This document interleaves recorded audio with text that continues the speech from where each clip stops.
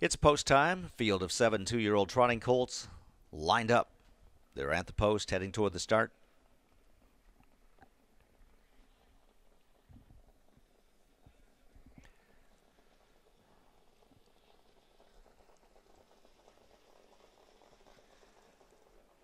And they're off. A Rod Hall trots out for the lead. Mr. Lucky Luke, the whip on his tail from the outside, looks things over. Keystone Bodacious up close from the rail. A shocker is moving up for Scotty Z's fourth toward the outside as they enter the opening turn. Fashion Danny on the inside races in fifth, dropping in sixth at the rail is Tandy's Legacy, and looking to move past him on the outside is Larkspur, who's now into the sixth spot for Eddie Lohmeyer as they head toward the opening quarter. A Rod Hall, a $30,000 Deweycheatumnhowe. Lexington buy leads at a length and a half, and he hits the front split in 30 and 4. In the two hole second, Mr. Lucky Luke, the Lucky Chucky for the Cancelleri brothers, the $450,000 Lexington purchase, tracks along nicely in a loose pocket spot in second. He's followed up buy Keystone Bodacious, an $85,000 Muscle Massive Harrisburg yearling racing in third for Corey Callahan. A shocker is right there behind the top trio at Andover Hall. $50,000 Lexington by for Chuck Sylvester is racing in fourth. Up the rail in fifth is Fashion Danny, a $12,000 Muscles Yankee from Harrisburg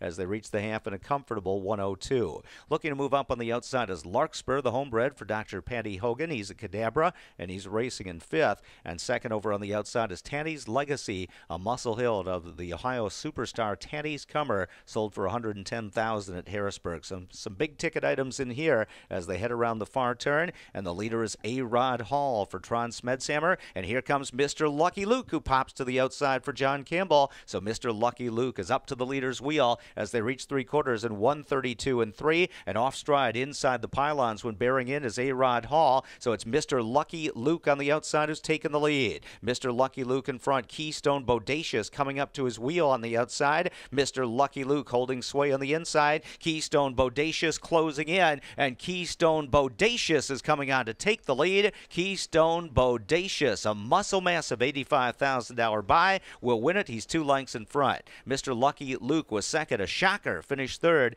Then Fashion Danny A Rod Hall was on the gallop in fifth. Then it was Tandy's Legacy and Larkspur in 202.